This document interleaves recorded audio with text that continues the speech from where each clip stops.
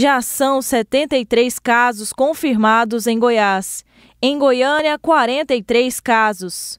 Uma morte confirmada. Casos suspeitos: 2.198. 882 descartados.